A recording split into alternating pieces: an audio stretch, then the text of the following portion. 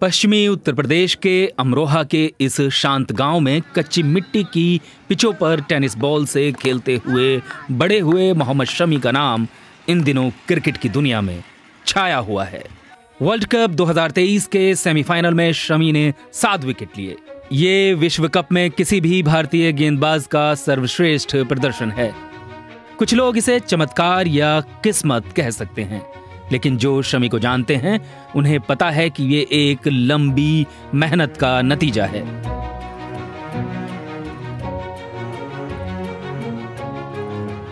निजी ज़िंदगी में कई उतार चढ़ावों से गुजरे शमी वर्ल्ड कप के शुरुआती चार मैचों में बेंच पर बैठे रहे थे। लेकिन जब उन्हें मौका मिला तो उन्होंने साबित कर दिया कि वो क्या कर सकते हैं। सहसपुर अलीनगर गाँव में क्रिकेट को लाने का श्रेय शमी के पिता तोसीफ अहमद को जाता है। जब से रेडियो पे कमेंट्री शुरू हुई तब से यहाँ पे क्रिकेट है। जब से आपको कैसे शौक हुआ था क्रिकेट का? क्रिकेट का कमेंट्री के सुनने से ही शौक हुआ था हमें तभी दिलचस्पी हमारी बड़ी थी। और तभी तोसीफ भाई ने कहा ना यार चलो खाली भी तो बैठे ही हैं क्रिकेट ही खेलते हैं। हम्म।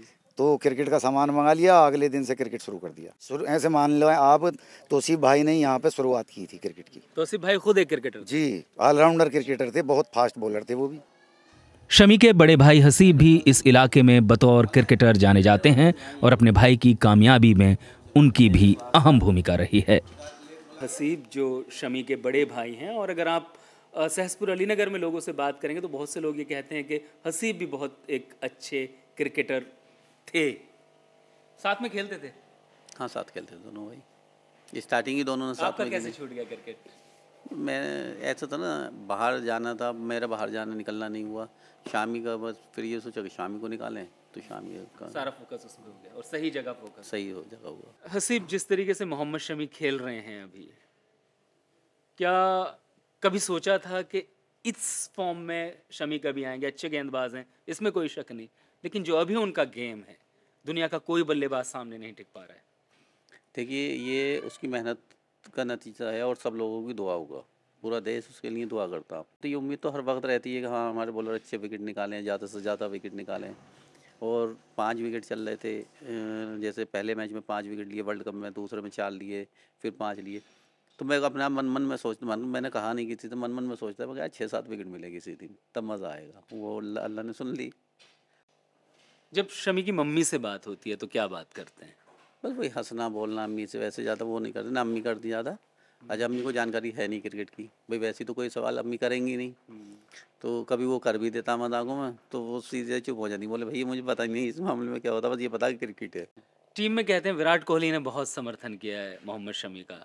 ऐसा लोग कहते हैं जो क्रिकेट को करीब से देखते हैं वो भी कहते हैं कितनी सच्चाई है इन बात। देखिए विराट और शामी ज़्यादातर मतलब वो हँसी मज़ाक करते रहते हैं आपस में इस तरीके से। वरना ऐसा नहीं है टीम पूरी के कोई किसी को एक को सपोर्ट कर रहा है वो सबको सपोर्ट करते हैं। मोहम्मद शमी जब यहाँ आते हैं गाँव में क्या दिनचर्या रहती है उनकी क्या करते हैं? प्रैक्टिस कहाँ करते हैं कैसे करते हैं? प्रैक्टिस वो नॉर्मल तो उनका एक टाइम टेबल है दो बजे से दो बजे के बाद किसी से नहीं मिलते। दो बजे से रात को दस बजे तक प्रैक्टिस करते हैं। प्रैक्टिस करेंगे कैच की प्रैक्टिस करेंगे बैटिंग की बॉलिंग की उसके बाद जिम करेंगे। दस बजे फ्री होते हैं रात को डेली जब हम सोशल मीडिया पे देखते हैं, पढ़ते हैं, बहुत से लोग ये लिखते हैं शमी ने ज़िंदगी की बहुत मुश्किलों के ख़िलाफ़ जो है, वो लड़ता रहा। जज्बा, उसने हमेशा अपने खेल से जवाब दिया। आपने शमी को कभी बहुत ज़्यादा बोलते हुए नहीं सुना होगा। कोई बयान नहीं देते, कुछ कहते नहीं हैं पब्लिकली दिखते नहीं हैं। तो ये जो उनके अंदर है कि मैं अपने खेल से जवाब दूँगा, ये पर्सनैलिटी कैसे आई उनमें? देखिए, वो पीछे, अंदर से स्ट्रॉन्ग है पहले से ही, वो और ऐसा कुछ नहीं है, कहने कुछ भी, कोई दुनिया है, कुछ भी कह सकती है, लेकिन ऐसा कुछ नहीं है। उसने हमेशा अपनी मेहनत की है और अपना ऊपर अल्लाह का भरोसा अल्लाह का भरोसा किया है कि कहीं ना कहीं मैं, मुझे कामयाबी मिलेंगी और मिलती है। वर्ल्ड कप में मोहम्मद शमी का प्रदर्शन किसी सपने जैसा रहा है। एक मैच को छोड़ दें तो बाकी सभी मैचों में जब जब शमी ने बॉल पकड़ी, बल्लेबाज चकरा गए। मुरादाबाद में शमी के कोच रहे बदरुद्दीन मानते हैं कि इस प्रदर्शन के पीछे सिर्फ़ उनकी मेहनत है। बॉल अपनी लाइन पे डाल रहा है सीम सीम से डालता है। सीम उसकी इतनी ज़बरदस्त है कि शायद ही किसी बॉलर की हो वर्ड में इस टाइम तो आप सबसे बड़े, बड़ा सिंपल सा उसका थ्योरी है कि भाई आप ज़्यादा कोशिश नहीं करते हैं, सिर्फ़ अपनी एक जगह जो उसका आपका पास जो क्वालिटी है, उस पर मेंटेन रखता है उसको। एक जगह बॉल डालता रहता है और वहीं पर ही, वहीं से अंदर, और बाहर स्विंग होता है बॉल और ज़ाहिर सी बात है, आपकी लाइन लेंथ अगर अच्छी है तो कोई सा भी बैट्समैन हो, आजकल वर्ल्ड क्लास कोई सा भी बैट्समैन हो अगर आपका बॉल सीम और सीम हो रहा है स्विंग और सीम होगा तो फिर आपको प्रॉब्लम रहेगी रहेगी। देखिए, शुरुआती दिनों में तो मैं नहीं कह सकता कि मैंने सोचा होगा ऐसा कि वो इतना बड़ा बॉलर बन जाएगा, ऐसा वहाँ तक पहुँचेगा। लेकिन जैसे जैसे वो मेहनत करता था, जितनी वो, उसने मेहनत की है मेरे ख्याल से शायद ही किसी ने की होगी इतनी मेहनत। मोहम्मद शमी ने अपने प्रदर्शन के दम पर इस इलाके की नौजवान पीढ़ी को खासा प्रभावित किया है। तो आप भी तेज गेंदबाज बनना चाहते हैं? जी सर। समी हमारे आइडियल है। आपको लगता है समी ने जो मुकाम हासिल किया है उसके करीब तक आप पहुँच पाएँगे? इन कोशिश करेंगे।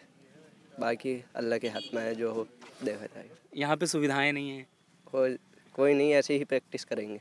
फ़िलहाल तो सबकी नज़रें वर्ल्ड कप के फाइनल में है और उसमें भी मोहम्मद शमी पर, जिन्होंने अपनी गेंदबाजी से जो कीर्तिमान बनाए हैं, वो हो सकता है नज़दीकी भविष्य में ना टूट पाएँ।